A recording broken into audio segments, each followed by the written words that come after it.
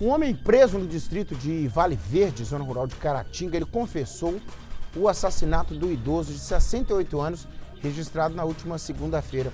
A ação criminosa vitimou Luiz Gonçalves da Silva, de 68 anos, morador da cidade de Ipaba, no Vale do Aço. A Gisele Ferreira tem detalhes, é, mais desdobramentos desse caso, né, Gisele? Boa tarde para você. Boa tarde para você, Nico. Boa tarde para quem nos acompanha aqui no Balanço Geral. Ontem nós falamos deste homicídio registrado em Vale Verde, Minas, distrito de Caratinga.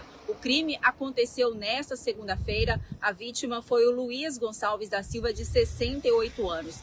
Durante as apurações sobre este crime, Nico, a polícia conseguiu informações anônimas de que a vítima estaria bebendo com uma outra pessoa. A polícia conseguiu chegar até essa pessoa com quem ele estava e o, um homem de 29 anos confessou que estava com a vítima, mas que havia saído pouco tempo antes do estabelecimento em que estava.